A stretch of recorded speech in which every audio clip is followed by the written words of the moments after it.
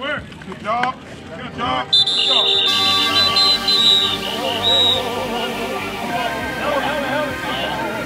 This is Micah Morris from Camden County, class of 2021.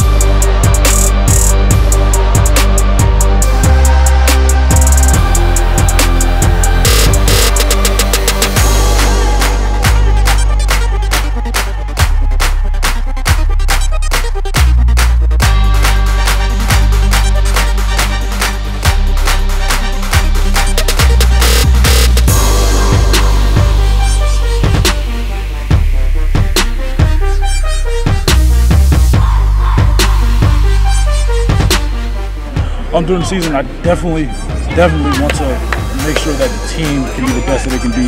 Whether me take, I'll be taking that leadership role to make sure that my team does what it needs to get to the state championship. Um, encouraging teammates in the weight. We have a, a very good weight training coach in Matt Mays. He's also our D-line coach. We go hard every day, five days a week.